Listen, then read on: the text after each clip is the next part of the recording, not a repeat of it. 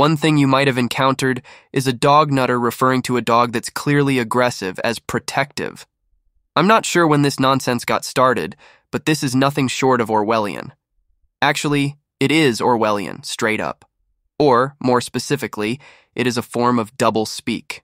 What William Lutz, author of the book titled Doublespeak, defines as Doublespeak is language designed to evade responsibility, make the unpleasant appear pleasant, the uh, unattractive appear attractive. Basically, it's language designed to mislead while pretending not to. Understand something.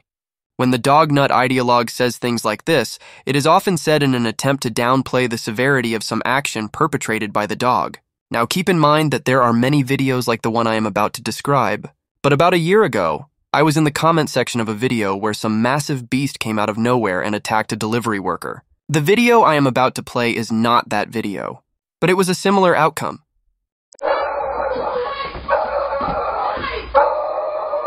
By the way, in that other video I was commenting on a while ago, the delivery worker didn't have a car to jump on top of, and the dog was much larger. Of course, some dog apologist came on and tried telling me that the dog was being protective and that it was defending the family inside. I simply asked this apologist what exactly the dog was actually protecting anyone from. Do you actually believe this delivery worker was a threat to anyone, just like you say the stupid dog seems to think? As you can probably guess, I never got a response back on this. I've been meaning to address this topic for a while, actually, but recently someone who claims they actually hate dogs said to me, Look at the behavior of wolves and you can see it lineally in dogs. Encroachment onto a dog's territory causes the dog to preemptively intimidate or repulse the threat in order to protect those it loves. The first thing to make note of is the fact that dogs don't love anything, and neither do wolves, nor do any predators. But this is the main point. What constitutes a threat in the simple mind of a dog is what we intellectually understand to be a person out walking, jogging, or delivering packages that people have ordered. Unlike dogs, we are capable of understanding the basic fact that this is not an actual threat. Dogs thus have a faulty perception, and what they falsely believe is irrelevant. This is the entire reason dogs are out of place in human settlements, or at least one of several very important ones. They cannot distinguish between a legitimate threat and a person simply going on about their business within a societal context. Dogs therefore have no place in human society. What's more, citing a similarity between dogs and wolves in this aspect only helps to make a stronger case against your own point, not ours. After all, wolves and dogs are both out of place in human settlements. The difference is that most people generally recognize this fact about wolves and other sizable predatory animals, but not dogs. The irony is that many dogs are far more aggressive and dangerous than wild wolves. For starters, dogs are actually all around us, whereas wolves are not. And domestic dogs are more mindlessly aggressive than their wild canine counterparts, and they are more likely to approach or attack humans than most animals, period. The way this supposed protection most commonly manifests is with people's simple house dogs that sit by the window and bark at anything and everything they see or feel like barking at.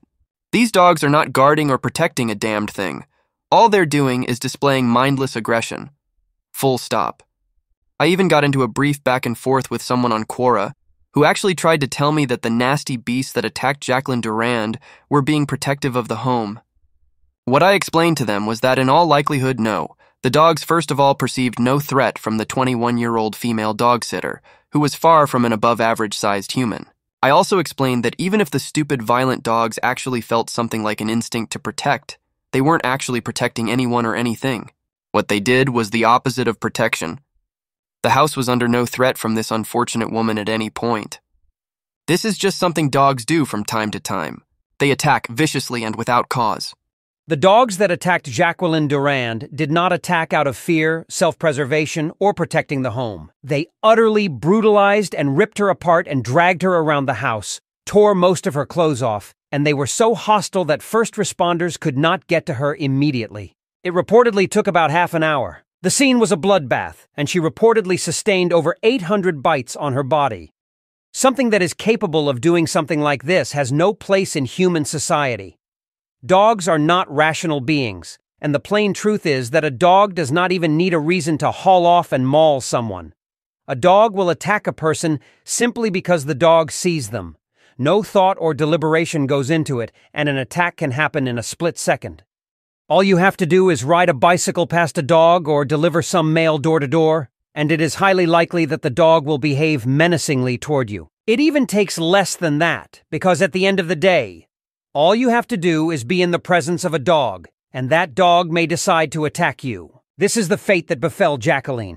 Putting the breed and even the science aside, she voluntarily walked into a house to stay with two large predatory mammals, which look every bit as dangerous as they are. She probably regrets that decision every day of her life. There should have been something in her gut, and in her brain, in her very core, telling her that this was a terrible idea. She should have passed on dog sitting that day, and any day. By the way, this is something we hear about a lot, isn't it? Young women killed by dogs while dog sitting. But the bottom line is this if a dog nutter starts talking about a good deal, hold on to your wallet. If they tell you that the sky is blue, you had better double check because it probably no longer has that appearance to the naked eye.